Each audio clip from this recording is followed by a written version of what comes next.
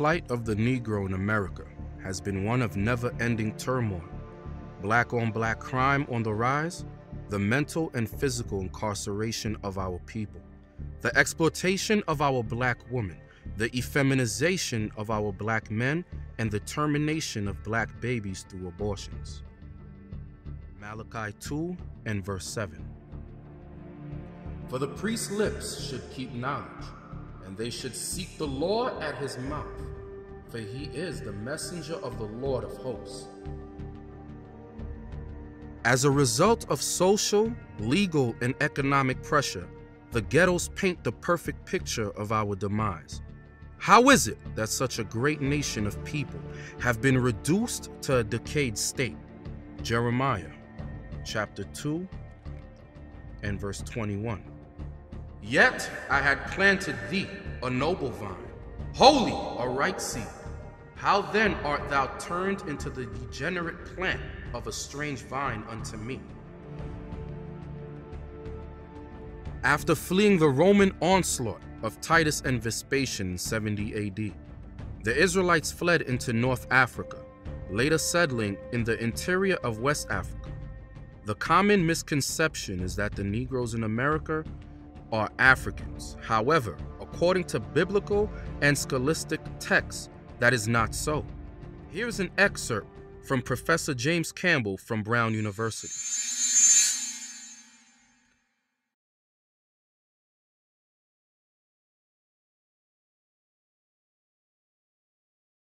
Historically, slavery is something that people inflict on others, right? You don't, generally speaking, enslave people like yourself. Now, how those borders are drawn may be may change. You know, so if you go back to ancient Athens, for example, it would have been rare for an Athenian to enslave another Athenian, but he would have had no qualms about enslaving a Spartan or a Corinthian or whatever. There's a kind of notion that you'll hear a lot of people say that you know Africans enslaved their own people, and in fact, they didn't. In our imagination today, this is one place inhabited by one race of people. But that wouldn't have made much sense to people at the time. You know, that Africa was and is a dizzyingly diverse continent with literally thousands of distinct ethnic and linguistic groups. And so there's conflict and, you know, and contestation between those groups. And uh, that grows dramatically, that conflict grows dramatically in the course of the centuries of the slave trade.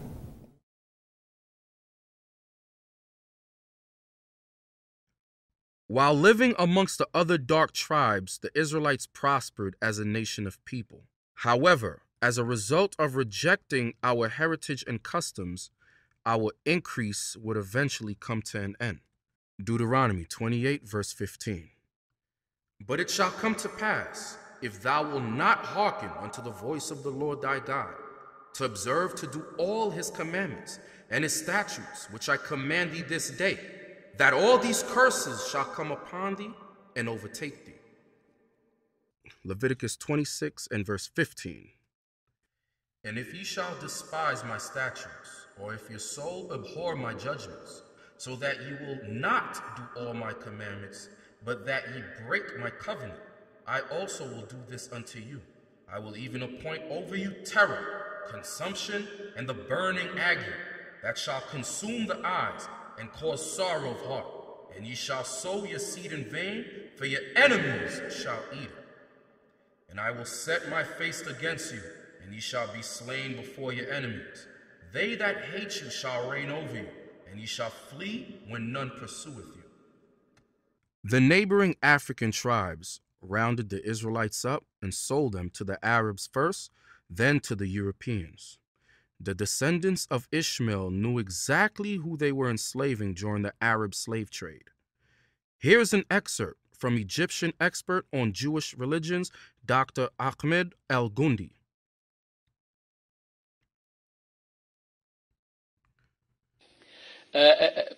اليهود في وقتنا الحالي هل هم لهم علاقة ببني إسرائيل في التاريخ القديم من ناحية العرق والجنس.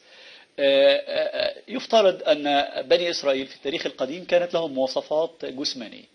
آه، كطول الجسد وكعرض الجسد وشكل الرأس ولون البشرة ولون الشعر ولون العينين.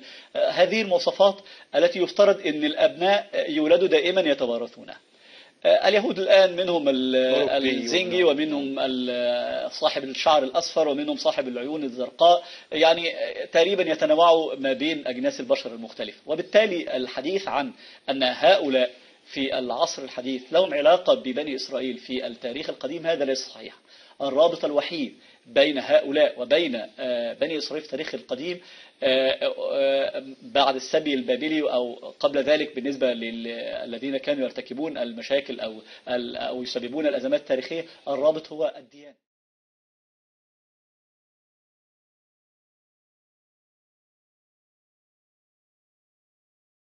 Persia to Egypt to Morocco, slave armies from 30,000 to up to 250,000 became commonplace.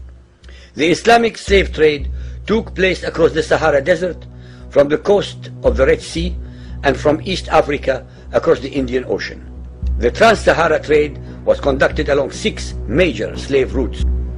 A comparison of the Islamic slave trade to the American slave trade reveals some extremely interesting contrasts. While two out of every three slaves shipped across the Atlantic were men, the proportions were reversed in the Islamic slave trade. Two women for every man were enslaved by the Muslims.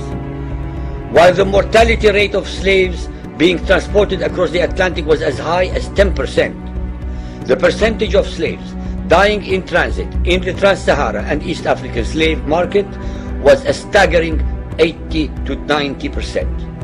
While almost all the slaves shipped across the Atlantic were for agricultural work, most of the slaves destined for the Muslim Middle East were for sexual exploitation as concubines in harems and for military service.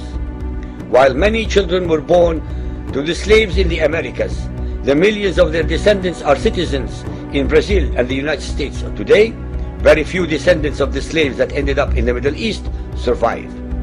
While most slaves who went to the Americas could marry and have families, most of the male slaves destined for the Middle East were castrated and most of the children born to the women were killed at birth. It is estimated that possibly as many as 11 million Africans were transported across the Atlantic, 95% of which went to South and Central America, mainly to Portuguese, Spanish and French possessions. Only 5% of the slaves ended up in what we call the United States today. However, a minimum of 28 million Africans were enslaved in the Muslim- Muslim Middle East. They profited from free slave labor for hundreds of years before the African tribes found more profitable customers. Joel chapter 3 and verse 6. Because ye have taken my silver and my gold, and have carried into your temples my goodly pleasant things. The children also of Judah and the children of Jerusalem have you sold unto the Grecians, that ye might remove them far from their border. Our ancestors had to withstand treacherous conditions on their involuntary voyage to the Americas.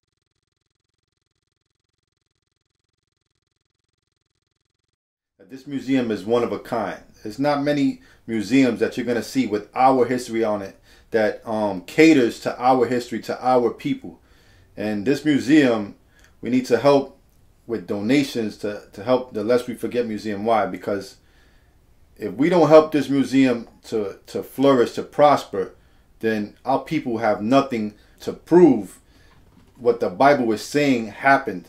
And it's not just to the so-called blacks, it also pertains to the so-called Hispanics and Native Americans. The, if you're of the 12 tribes of Israel, this museum is for you. It caters to you and it shows you your history. All right, especially myself being of a Northern Kingdom. Um, what what people don't um, of the Northern Kingdom don't understand, which are the Hispanics and um, Native Americans, is that we went through slavery before the so-called blacks. So this history runs deep with us. All right. So it's not just for the so-called blacks. It's not a black thing. It's a 12 tribes thing. It's a nation of Israel thing.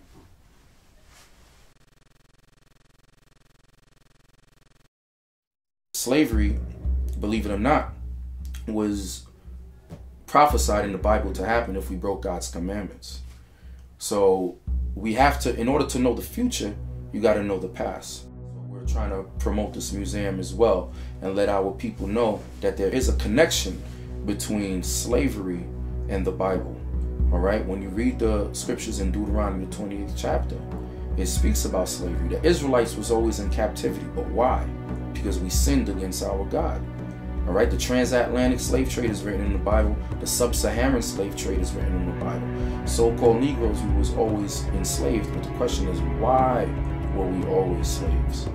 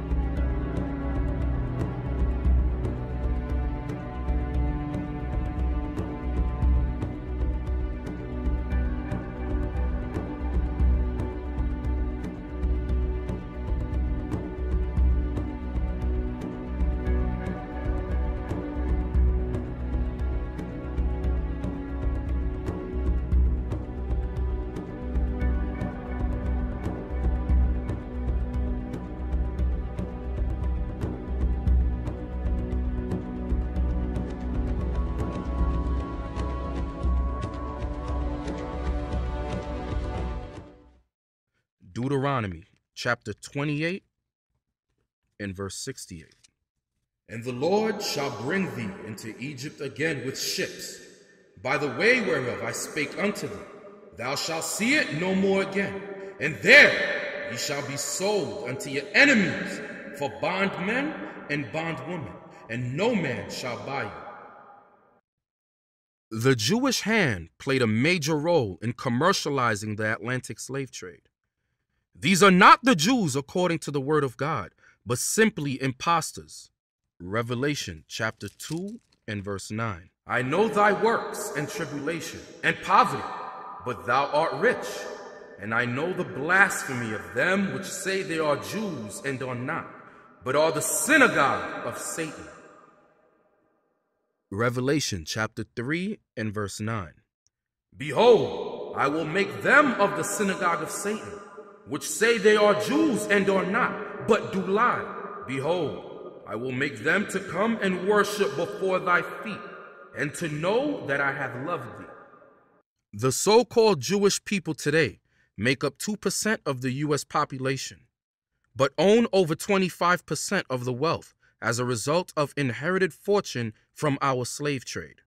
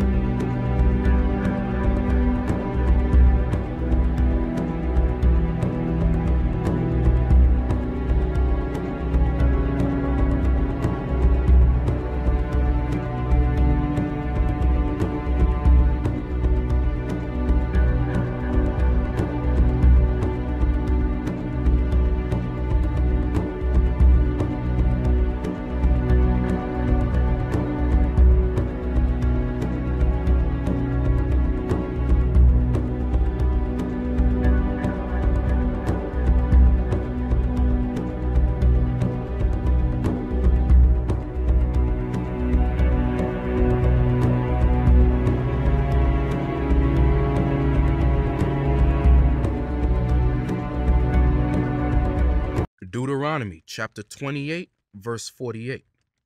Therefore shalt thou serve thine enemies, which the Lord shall send against thee, in hunger, and in thirst, and in nakedness, and in want of all things. And he shall put a yoke of iron upon thy neck, until he have destroyed thee. Once the Israelites reached the pinnacle of mental and spiritual destruction, the United States abolished slavery in 1865. However, there were many whites that chose not to acknowledge the new laws emancipating the newly freed slaves, so they instituted cunning devices to keep the blacks subservient and oppressed. Sharecropping laws were put in place to always have the whites as overseers over black economics. The Jim Crow laws, which were patterned after the black codes of 1800 to 1866, were introduced after the Reconstruction period in the southern United States at state and local levels, which continued in full force until 1965. The Book of Psalms, chapter 44, and verse 11 to 14. Thou hast given us like sheep appointed for meat, and hast scattered us among the heathen. Thou sellest thy people for naught, and dost not increase thy wealth by their price. Thou makest us a reproach to our neighbors, a scorn and a derision to them that are round about us. Thou makest us a byword among the heathen, a shaking of the head among the people. What alarmed whites after the Reconstruction period was not the evidence of black failure, but the evidence of black success, evidence of black assertion, evidence of black independence, and evidence of black advancement and evidence of black unity.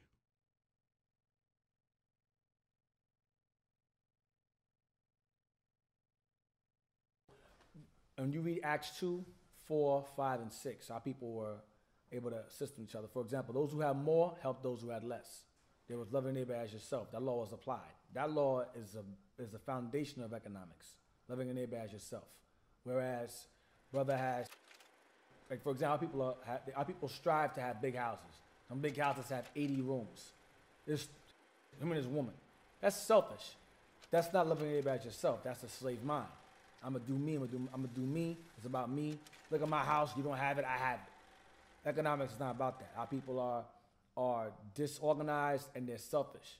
So these laws and commandments, what they do is they cause us to work together. They cause us to unify. They cause us to put our resources together, start our own businesses if we're if we're focused. Our own businesses, whether it be trucking, whether it be construction, dental, uh, truck driver, whether it be carpentry, a teacher, a doctor. We're able to we can use these things to start community. We can use our our um, we can utilize each other and start our community. That's how. Even though the money is always going to come from the outside, from the oppressor, it's always going to come from him. But the money can still circulate amongst us. We don't gotta go outside. See, that's that's what integration destroyed. See, our people had Black Wall Street, and Black Wall Street was a thriving black community where we relied on each other. But when when when integration came in, that's what destroyed Black Wall. The firebomber didn't destroy Black Wall Street. What destroyed Black Wall Street was integration, where the, the, the black folks fought to be able to ride on white buses. So all the black bus companies got shut down. Black folks fought, fought to be in the white schools. Therefore, the black schools got shut down. So the law for this is 2 Corinthians 6 and 17. 2 Corinthians 6 17 says, Wherefore come out from among them, and be ye separate, saith the Lord, and touch not the unclean thing, and I will receive you. So the Bible requires us to stay separate and stay amongst ourselves.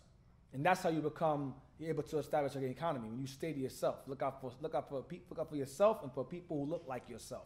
Your people, who are to be the Israelites. That's how Israel rolled in Acts, and that's how we're supposed to roll now. And they were in captivity back then. They were under the, they were under the Roman dollar. Now we're under the extension of Rome, which is America. So the same rules that apply then can apply today in terms of being self-sufficient or being economic. As a result of this progress from the newly freed slaves, the envious whites would institute a diabolical organization that would strike fear in the hearts of the blacks for generations to come. Ku Klux Klan flourished in the southern United States in the late 1860s. Their fearful members made their own, often colorful costumes, robes and masks designed to be outlandish and terrifying and to hide their identity. Their trademark was usually mass parades, cross burnings, and lynchings. Um, I understand that you're a teacher of the Bible. Um, how is it you being a teacher of the Bible and visiting this museum beneficial to you as a teacher to relay your message that you the gospel that you're trying to bring to the Israelites? Is this this going to visit this museum is so beneficial to our people far as when you read the Bible and you can visualize and touch and feel the things the, the, the slavery we've been through, that's so significant for our people to wake back up because our people need visual these days. The Lest We Forget Museum, when you go in there, he had me so mesmerized. He taught us about the conditions on the ship. He showed us the chains, the balls, the whips, the noose, uh, the gator bait, and he brought it up to today with brothers on the wall who's uh, uh, um, was getting afflicted as well. So uh, everything he showed us, it coincides with the Bible. Them two become one once you get in there and you look through Deuteronomy 28, you listen to Jeremiah uh, 22, 33, and all these different scriptures, it all coincide that the things in this museum is the things uh, uh, uh, uh, is with the Bible. They both coincide. They both become one when you come in there. One thing that stood out from what you said, you spoke about the noose. Even in this day and age, when people want to taunt us with racism, they'll leave a noose lying around. Are you saying that in this museum we will see actual noose that were used to afflict and kill our people? When you go in there, Mr. Radziel, he just don't show you the noose. He give you the history about the noose because his son is a biologist and he took the noose down to where he work at and he said the skin of somebody uh the fibers the skin of somebody the dna the blood was still on that noose. So that's showing you and proving to you the atrocities that people been through. He just don't it ain't a museum you just go and you just hear the words. He explained it to you. You got straight on eye uh, excuse me eye visual. You got uh you could feel it you could touch it and it belonged to you and your people. That's who it go back to to our people. That whole museum is dealing with the blacks and Hispanics. So, as we read the Bible and we enter the museum, we you're saying that you're going to use your understanding of the scriptures to bring that museum to life mm-hmm. and show that the Bible is real and these things happen to us unlike what they taught us in history. Yes, sir. When you go in there, you become a part of the history that happened to our people. Like Job 8 and 8. So you got to inquire and search for what? Your fathers. Things in the past that pertaining to our fathers. So that's when you go in there, you see the chains, the balls, the whips, you see uh, uh, the gator bait, you see the nooses, you see all them things that that you go in there, you got no other choice. And when you read the Bible, you know they coincide because in Isaiah uh, 46 and 10, he said he declared that end from the beginning. I mean, he declared um, the end from the beginning.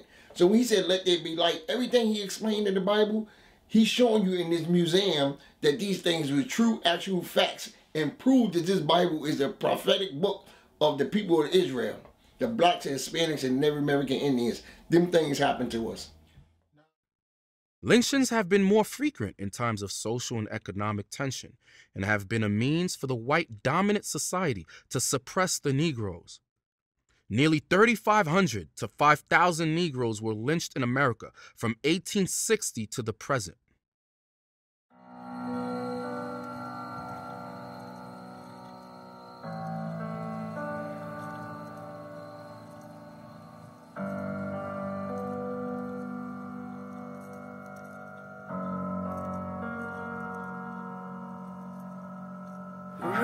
Apart by horses, torn apart by horses, surrounded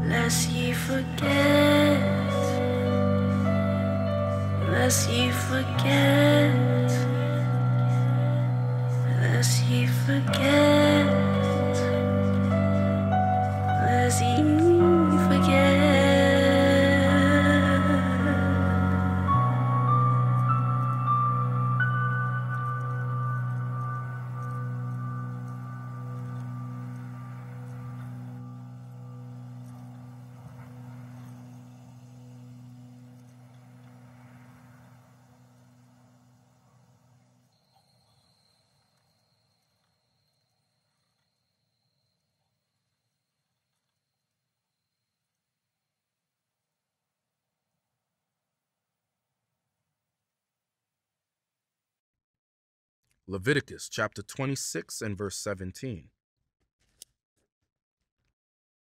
And I will set my face against you, and ye shall be slain before your enemies. They that hate you shall reign over you, and ye shall flee when none pursueth you.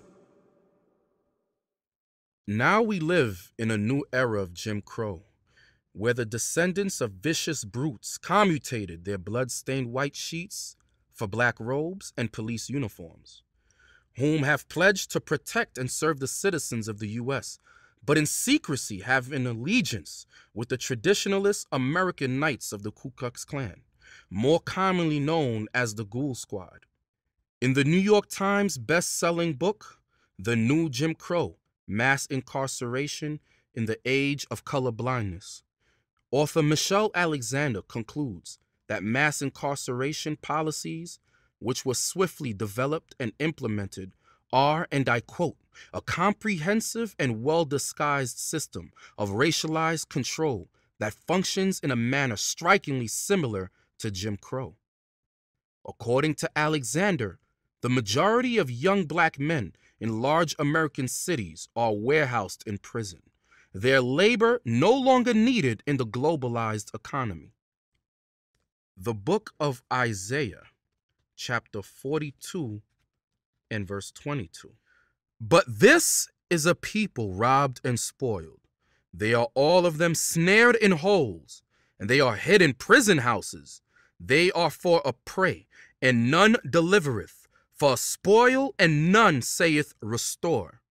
Popular opinion maintains that young black men, once they are labeled as felons, become trapped in a second class status that they find difficult to escape. However, the Word of God and the application of His laws makes a way for us to escape the traps and snares before us. Isaiah chapter 51 and verse 20. Thy sons have fainted, they lie at the head of all the streets. As a wild bull in a net, they are full of the fury of the Lord, the rebuke of thy God. John chapter 8, verse 32. And ye shall know the truth, and the truth shall make you free. Without truth, nothing is sacred. Truth is, America has played a great role in our destruction. His story has it that blacks are an inferior race of degenerates. Our story says the contrary. We are that beacon of light that is set on a high hill. We are that rose that grew from concrete. We are that nation of kings and priests. A new breed of black men have been raised up from dunghill to set in order the things that are lacking in our nation. Help us to stop the senseless slaughter of our children by teaching them how to love their neighbor as they love themselves. Help us to put an end to the disrespect and dishonor of our black women by teaching our brothers and sisters the proper steps of marriage.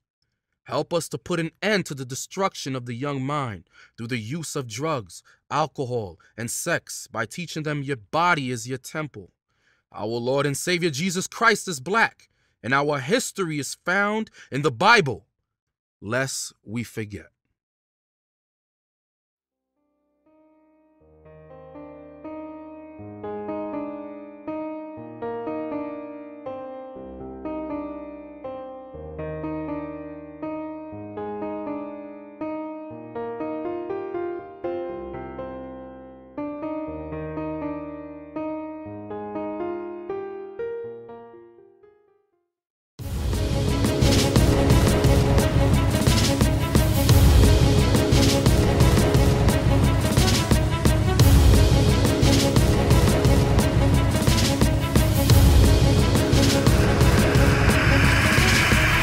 Israel. I'm Elder Nathaniel of Israel United in Christ.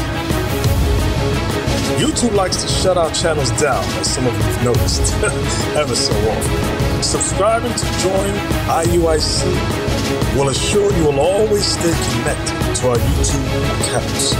We want to do our best to make sure this truth gets out.